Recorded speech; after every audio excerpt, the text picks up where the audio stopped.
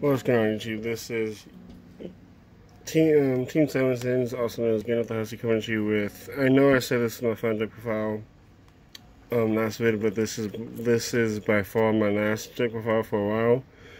I finally got the deck down that I wanted.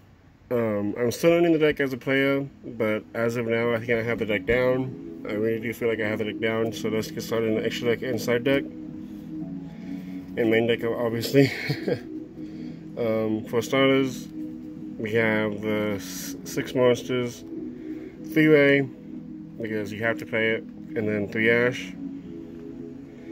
That is the only monsters I play. That is it.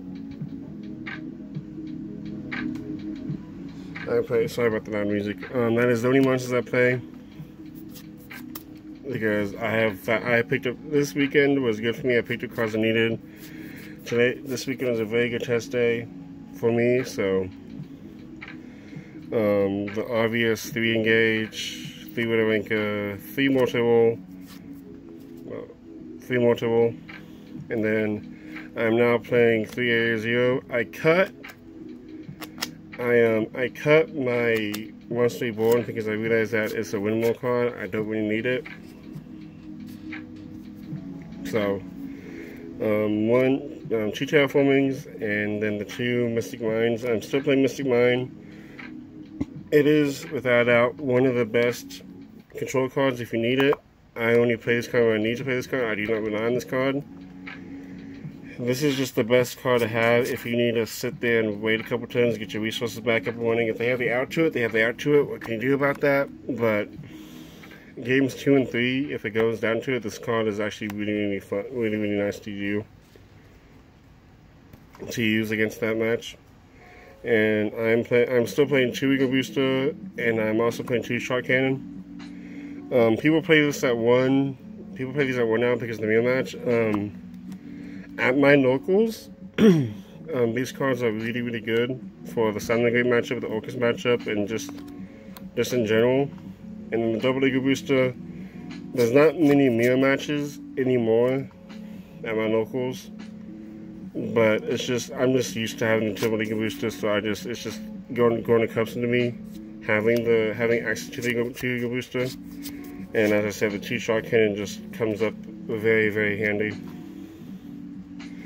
Um, I do not play desires. I still play the the two for spare and the one wonderful fusion. It's just better for me overall. So what can I say about that? It's just it just works for me better than having um, everything else.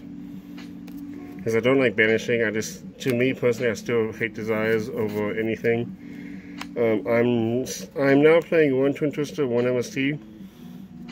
The thing behind this is that I don't always want to discard my hand because most time most of the time I end on hand traps only, and I kind of want to keep them. So, and the MST is just the best reactive card. I may, in the future, I may test just two MST and see how it goes for me. But right now, this is actually working out wonderfully for me. Now for my, now for my, the rest of my windows, I'm playing one order. Um, kind of still have to play it. Obviously, you have to play one Hornet Drones. If you could, I wish you could play more, but you can't, sadly. Um, one afterburner. Um, the second one that hasn't come up from come up at all recently so I want to keep it at one for the time being. I still have my second one on the side, not in the side, but I have it on the side just in case if I ever feel like I need to play out two again.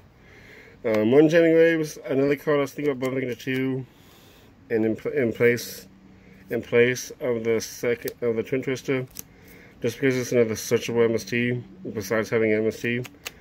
But the fact that only pops set is um is just the issue about that, and the one Hercules base.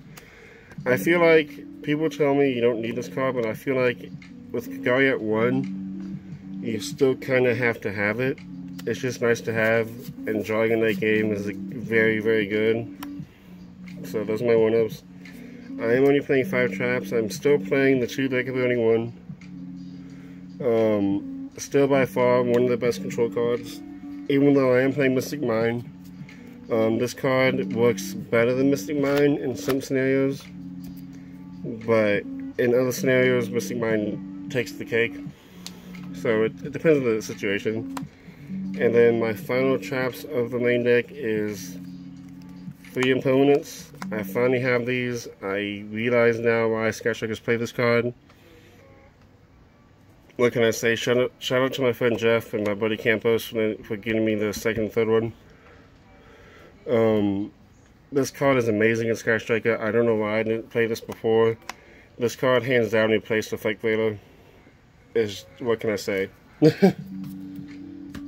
the extra deck. Again, side deck is um, side deck is different to for everybody's locals and everything in general. So take that with a grain of salt. But this is my extra deck. The one Kagari, it's a shame to be at one, but what can you do? Um, triple Shizuku.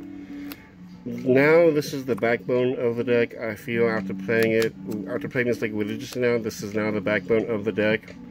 I go into her when I absolutely need to, and I save the Kagari for late game or mid game if I absolutely have to. If I have a decent hand, I will shotgun Kagari. I will not lie, I will do that. Um, and then I'm playing three Hayate. Um, having three, people tell me you don't need three, but after playing yesterday in tournament, the third one came up on, in grind games a lot, and I'm only playing one Kaina.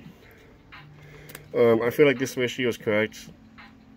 The second Kaina has not come up for me ever. And me personally, I just feel like this ratio is the proper ratio for Sky Striker now. Um, so yeah. I'm not the best of the deck, but after talking to a few of my friends with that play the deck that played the deck religiously, I feel like I have the deck down to a T in terms of the deck the deck being built I just gotta work on myself on playing it. Um, one heater. Apparently the card's good. I know I never. I've only used it in the mirror match, and that and um, I'm and like I said, I'm still doing stunt combos with the deck. So what can I say? Um, one Phoenix, one Unicorn, one Ningirsu, one Borreload Dragon.